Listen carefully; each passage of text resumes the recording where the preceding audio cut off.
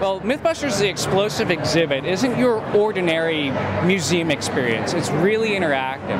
And so it gives kids an opportunity to actually get in there and do science for themselves. We have exhibits like Running in the Rain, where you can actually go through and see whether it's better to run or walk through the rain, and then they record their data. So, what I would like kids to be able to see is that science is fun because it's something that we know instinctively because we do it every day, but we want to bring this experience to kids all over the country. You know what? After working in special effects for nine years, I have to say, honestly, I had no idea that the things that we were making and all the things that we were doing on Mythbusters would ever end up in a museum. But I'm so happy it has.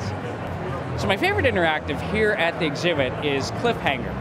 And it gives you an opportunity to test like in action movies, where the hero hangs from their their fingernails on a ledge and see how long you can actually do that. So there's a timer, there's a mat, so when you actually give up, you don't fall and hurt yourself. It's a very safe experience.